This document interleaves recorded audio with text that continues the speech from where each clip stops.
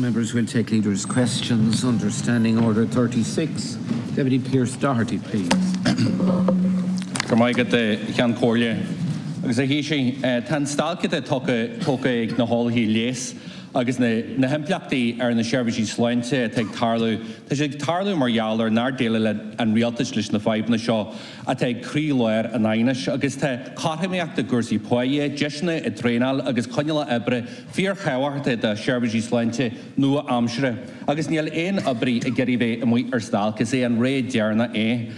Taoiseach, medical scientists are on the picket lines this morning and again tomorrow, fighting for fair pay, fighting for do, uh, decent career uh, opportunities, progression opportunities, and we're seeing significant and widespread disruption to our health service with up to 30,000 medical procedures and appointments being cancelled. And that follows from the 14,000 uh, appointments that were cancelled last week. And this dispute, Taoiseach, has been left to fester by successive governments for more than 20 years. The issues at the centre of this strike didn't fall out of the sky. Medical scientists are paid 8% less than other colleagues who perform identical work in hospital labs. Laboratory aides who report to medical scientists are receiving a higher starting salary than the medical scientists. They have fewer education and progression opportunities than comparable colleagues. And these issues have been raised continuously uh, with government for over two decades by medical scientists, by their representatives, and nothing has been done.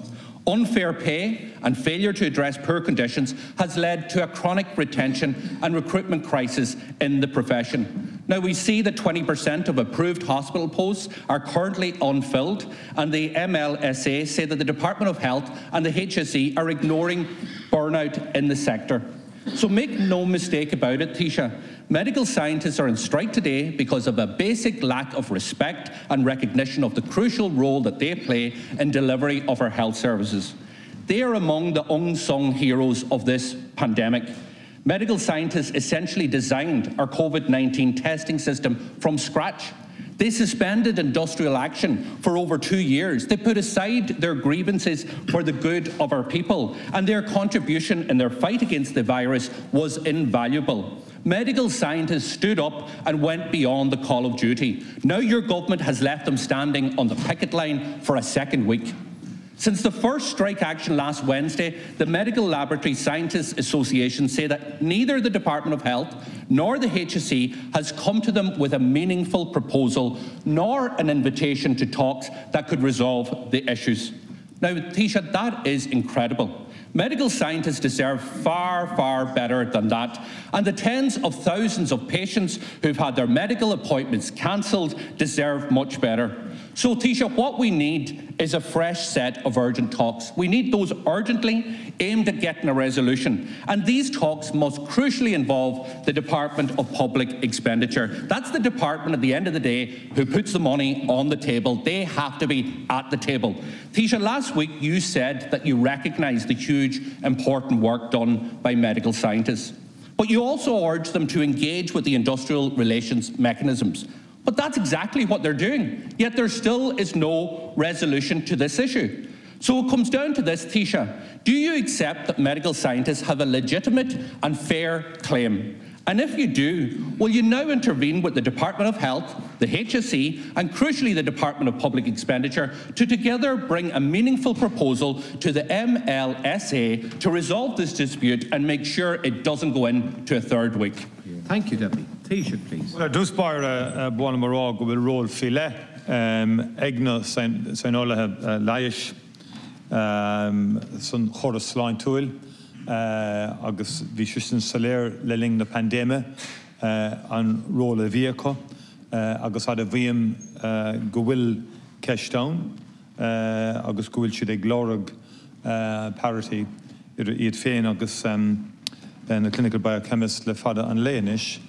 ach an tlí is fear chun na ceisna seo réitoch ná le caiintena leistíigh um, den den proséis atá ann chun ceisna den taid seo um, a réitocht agus sé má chóm. Um, Dá mar rud go méid caiintena substanz túúl ann go méimiid an ná na ceisna seo a réitoch um, sa deire. First of all, I want to acknowledge, uh, thank the Deputy for raising the issue, and I want to acknowledge and pay tribute uh, to the dedication, professionalism, and the commitment of medical scientists throughout the country. Uh, they were instrumental and crucial in respect of our response uh, to COVID 19 and the pandemic, and are clearly an integral part of the delivery of care within our health service. Uh, the MLSA, the Medical Laboratory Scientists Association, want pay parity uh, between medical scientists and clinical biochemists. Um, it was recommended in an expert group as far back as uh, 2000, 2001. Uh, that was broken by benchmarking uh, at the time, the 2002 benchmarking process uh, between the two grades again. Um, there is clear, a clearly defined grade structure with promotional opportunities, opportunities for medical scientists within the HSE. Um, now, the Building Momentum Public Service uh, Agreement uh, did provide for sectoral bargaining within that overall framework. Um, and in addition to that, um, we, we, believe, we believe it's, it's, it's particularly important uh, that this gets into a proper process, uh, either in the LRC or, or within the Labour Court. And in our view, and in my view, optimal use must be made of the industrial relations machinery of the state, be it, be it the WRC or the Labour Court uh, in respect of getting this issue resolved. There would have been significant informal contact over the weekend, and the issue is about the process of getting uh, all sides uh, into the process, into either the WRC or the Labour Court, uh, to get this resolved uh, within broad industrial relations frameworks. Because uh, in the end of the day, um, government wants a resolution of this. I'm sure MLSA want a resolution of this on behalf of medical laboratory scientific sciences associations.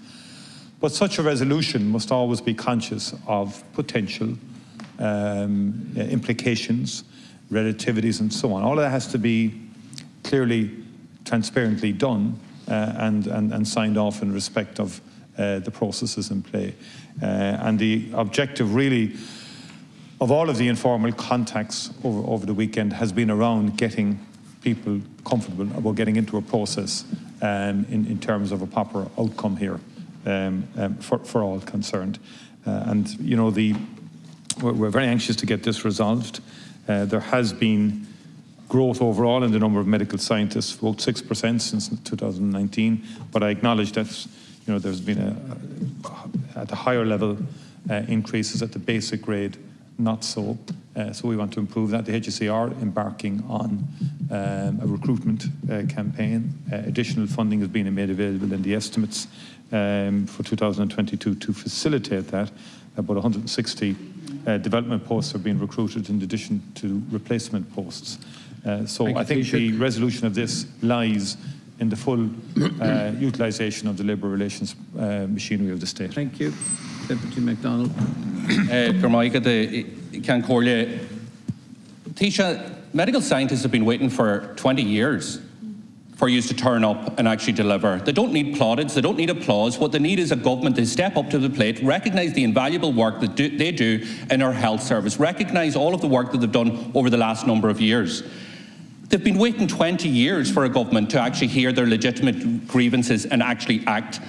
They're out on strike today, Taoiseach, because they've had enough. Now, we can't allow this to go into a third week and the disruption that that will have to our health services with three more days of strike next week. So I'm asking you, you say that we need to use the industrial mechanisms. I agree with that. But all parties need to turn up. DPER needs to be at the table. The people who will pay uh, at the end of the day need to be involved in these talks. So, Taoiseach, I'm asking you again will you direct the Department of Health, the HSE, and the Department of Expenditure to get round the table with the medical scientists uh, to come up with some sort of resolution? Thank you. Well, first of all, the health sector management have engaged with the MLSA through, through the WRC over the course of 2021 and more recently through the sectoral bargaining process under building momentum 2021 to 2022. Uh, the uh, public service, the PSAG, recommended that the parties re-engage at the WRC, um, and, that, and that, that is where it has been over the last week or so, uh, endeavouring to get back into the into the process. There was further engagement with the MLSA in relation to that. Um, unfortunately, no resolution was reached. Um, last week in respect of that, uh, but I'm hoping, uh, and I would urge all parties uh, to use either the WRC or potentially the Labour Court uh, to bring about a resolution of this. And the full um, arm of government then would be uh, involved in that process uh, in terms of the full continuum of government through its different departments and agencies would be involved in that process uh, to get an outcome uh, once and for all uh, of this particular issue because I think we want to get we understand the role that the, that the medical scientists play.